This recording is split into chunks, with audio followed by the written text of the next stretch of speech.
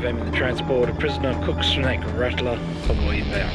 We are being attacked by a tow truck attempting to help the prisoner escape. Request immediate backup. High speed pursuit underway.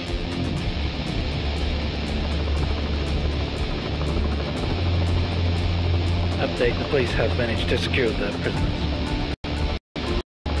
G'day everyone, welcome. Today we're looking at LEGO set 60276 LEGO City Police Prisoner Transport. This set was released in 2021. It contains 244 pieces and 4 minifigs. And this set typically retails for around $32.99. Keen to see what they've done with this set and how much is involved. It looks like there are a few vehicles to build and play with, so cannot wait to get into it and attempt to answer the question, is it worth it? So make sure you stick around for that, but before we jump into this video, could you please hit that like button, consider subscribing if you haven't already, so you don't miss any more videos like this in the future. Now, let's get into building this set together.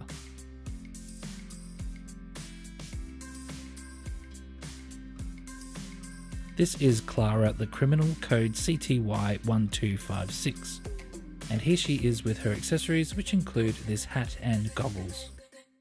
This is Duke Detain code CTY1257, and as you can see, he comes with two faces. He also comes with two accessories, which include this hairpiece and this helmet. So we're just starting to add stickers now. This is a number plate detail.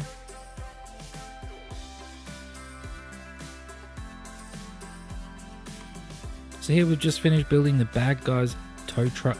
You can see the dynamite sticks attached to the side there. You've also got the chain and the hook at the back, which we'll be using a little bit later on. Looks pretty mean. So now here we've just added some police stickers to this motorbike to make it look more like a, well, a police motorbike. And there we just finished it off with some lights and handcuffs attached to the back. And this here, this is Crook Snake Rattler, code CTY1130. and here they are, their accessories, which include this cowboy hat.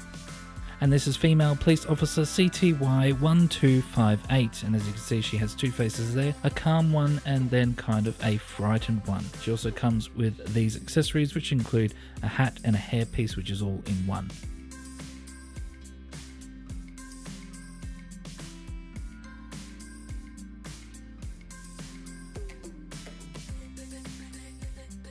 So now we're at the end back two, and as you can see, I've added a bit of detail there to the interior of the truck and the front with the police sticker, the coffee mug, the steering wheel, the handcuffs, and other little details like that. So now let's finish this set off.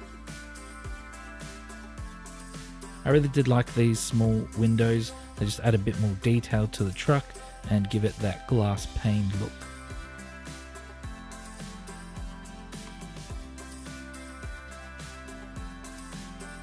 Added these police stickers to these 4x1s.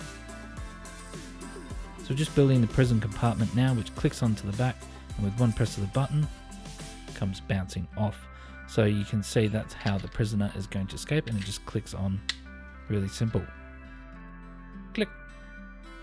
So there we go, that's this set all finished up. The main big attraction is this police transporter. Then you've got the other tow truck and the motorcycle, as well as four minifigs to play with in this set. So let's talk about this set in a bit more detail as we get into reviews. For buildability, like most city sets, there are always multiple objects to build. This set enables you to build all of the necessary vehicles for a fun, high-speed chase. The bad guy's unique tow truck design looks mean and aggressive, especially with the dynamite bundles hanging off the side. This set was an enjoyable build, however I felt like it could have used a few more details, a few extra pieces, just to give this set a little bit more, and especially with that tow truck, the wheels could have been a little bit bigger, they just felt a little bit too small for me. So for buildability, I'm giving this set a score of 7 out of 10.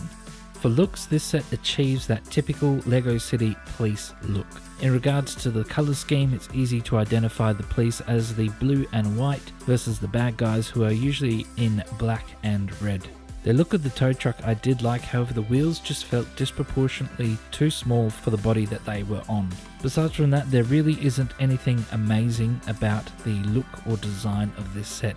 It's pretty much straightforward and you get what you see. So for looks, I'm giving it a 5.3 out of 10. For playability, this set offers multiple vehicles and four minifigs to play with, which is more than enough to create multiple good guy and bad guy scenarios. The tow truck can actually hook up to the police transport and tow the cell half behind it.